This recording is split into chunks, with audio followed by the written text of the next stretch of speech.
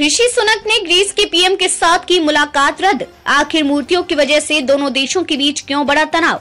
British प्रधानमंत्री ऋषि सुनक और Greece की प्रधानमंत्री किरिया कोस मित्सोताकिस की मुलाकात रद्द हो गई। दरअसल दोनों नेताओं के बीच मुलाकात न होने के पीछे 2500 साल पुरानी मूर्तियाँ हैं। ये मूर्तियाँ ब्रिटिश संग्रहालय में मौजूद हैं। ग्रीस लगातार उन मूर्तियों को ब्रिटेन से वापस लेने की मांग करता आया है। वहीं ब्रिटेन ने मूर्तियों को न लौटाने की बात कही है।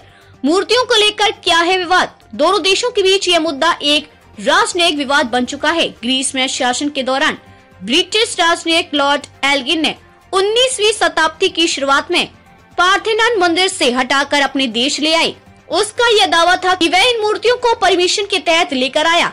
पर एल्गिन इस बात को सही नहीं साबित कर पाया, जिस कारण ग्रीस और ब्रिटेन में आज भी इन मूर्तियों को लेकर विवाद देखने को मिल रहा है। मूर्तियों को एंथेंस लाने की प्रयास में जुटा ग्रीस। बता दें कि ग्रीस की सरकार और ब्रिटिश संग्रहालय के अध्यक्ष जॉर्ज ओसबॉर्न के बीच मूर्तियों की संभावित रण सौदे पर चर्चा हो रही है। ग्रीस इन मूर्तियों को एंथेंस लाने का प्रयास करता आ रहा है। वहीं पीएम सुनक के एक प्रवक्ता ने कहा था कि मूर्तियाँ वापस करने की कोई योजना नहीं है।